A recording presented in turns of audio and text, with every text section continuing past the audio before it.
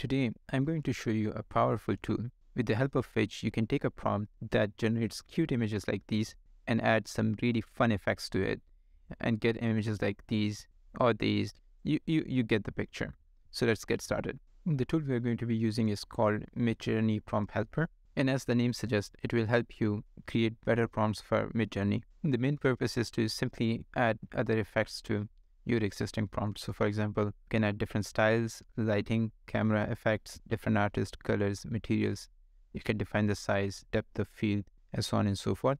There is all even an option of doing image to image, and you can even include words that you don't want in your prompt. Okay, so in this video, we're going to explore all these options. Let's start with a very simple and basic prompt. So my initial prompt is a cat and a dog singing karaoke in a microphone. So let's run this. While it's running, let's go and explore uh, some options here. So the first one is style. For example, 16-bit, 4-bit, anime. Uh, there is comic book drawing.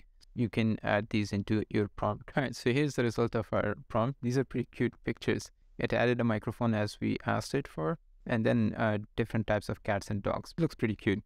Let's add some style to our prompt. So first, copy your prompt here, go to styles. Let's say we start with the anime. We'll see that it adds some options at the end run this again. Here are the results. It did add some effects, but not re really like anime style as we asked it. So here is the original image, and this is what generated with the modified prompt. Uh, let's explore some other options. Okay, one thing is you can actually combine multiple uh, styles as well. So for example, with anime, you can select anything else, but I'm going to remove that. So you'll see that the, with continue, you'll see the zero. Let's say I want to add cyberpunk with comic book. I think I saw comic book somewhere. Yeah. So let's say then it will add uh, cyberpunk and comic book styles. You will notice this one that is basically the width that it's assigning to different styles.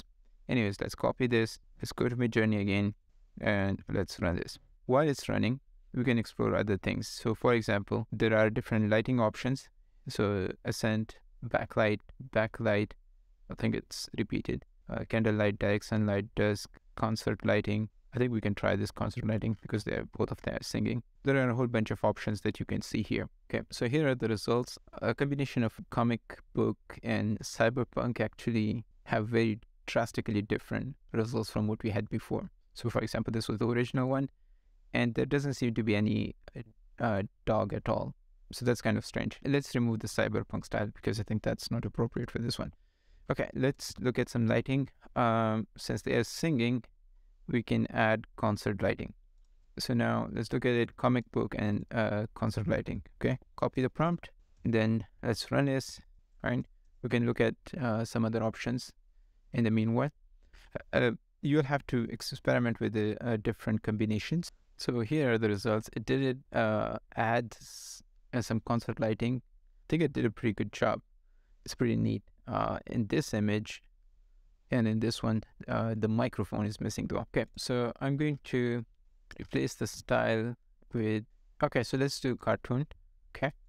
Now we can export the different camera effects. So there are, uh, there's a 360 panorama uh, DSLR. Uh, this you can use for uh, portraits. Uh, then microscope magnification. So there are a whole bunch of options. Let's use ultra wide angle. So now the prompt adds lighting, I change the style to cartoon and then uh, wide angle. So copy this. Let's run it again. All right. All right. So while it's running, let's explore other options. So there are different artists. Uh, if you're looking for a specific style, you can select those that will be added to your um, uh, prompt. So I'm not going to do this. And then there are different color palettes. So these color maps will modify your output image. For some reason, it's actually ignoring one of the uh, so, uh, for example, here you have a, a, dog, then cat, a cat, and this seems to be a tiger. Let's make our prompt pretty funky. So I'm going to use these neon purple colors. Right? And actually, uh, one thing you will notice that with each options that you select, you have this slider. So it will simply increase the weight of that specific uh, parameter. So I'm keeping everything to one, but if you want uh, more weight to a certain parameter, you can just increase this. So let's copy the prompt. All right, let's run it. In the meanwhile, here are different materials you can actually select. Uh, so that will give a different look uh, to your resultant image. Uh, so for example, quad plastic. uh, uh, if if there are um, people involved. Uh, uh, so you can use the skin, wooden, and so on and so forth. So these are pretty nice options. You can play around with those. Here are the results. As we added more and more options, you will notice that the prompt has become a lot more complex and it started to deviate uh, from the original prompt that we used. So you need to be careful with uh, with that. It's always a good idea to just add uh, things sequentially and just remove them if they don't work out. So I'm going to remove this neon purple color and let's simply keep uh, RGB. Okay. And we didn't really assign any weights to the uh, cat and dog, but it's just an, an, example. So I'm going to leave it uh, like that. You can define the size. If you do it to default, so it's going to be a square with one-to-one aspect ratio. But then there are other options like square, vertical. Uh, so let's say if I select, so it adds this dash dash AR, the aspect ratio. So let's keep it to default. Uh, then there are but two options for uh, depth of fields, full focus or shallow. That's a, a, blur focus. Then there are some other options whether you want to have like at the best quality, so that will take uh, a lot more time. But let's uh, add this and let's run the prompt again. Now, by adding all these options, things have gotten really interesting. It actually started completely ignoring the first part of the prompt. For example, this is the only one which has a, a cat, but the rest, I don't know, like what, what this was trying to do. Then there's a microphone in a person. As I was saying, uh, be thoughtful about what you're adding, not just uh, add things for the sake of adding, because it's going to have an impact. I actually uh, went ahead and uh, did another experiment. So I uh, assigned different weights to the cats and dog, and with the same prompt. So now this is the result. So things are getting really interesting.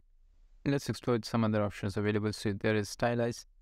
Um, if you keep it to the lowest one, it will be less artistic. Um, if you keep it to higher, uh, so the model will start deviating from your original prompt, and it's uh, will take more creative freedom. Similarly, you have seed each uh, generated image has a random seed assigned to it, but you can keep it fixed if you want a chaos um, as well. Now, the good thing about this one is you can actually do image to image. So, for example, all you have to do is click an image, right? So that becomes part of the prompt. So that's going to be uh, used as an inspiration. You can add negatives here. So what terms to avoid, for example, you have buildings, trees, or people, so on and so forth. Whatever you don't want in your image, you can put them here. And last but not least, they have uh, guides on how to do prompt engineering. So, for example, for this cinema, and they actually break down their prompts and go over like the details of how to create powerful prompts. So I would encourage you to check those out as well. In summary, it's an amazing tool to help you with your prompt building. Just be careful, uh, don't add way too many options because that will deviate from your original prompt. I uh, hope you like this video. If you like the content, uh, consider subscribing. Turn on the push notification. Thanks for watching. See you in the next one.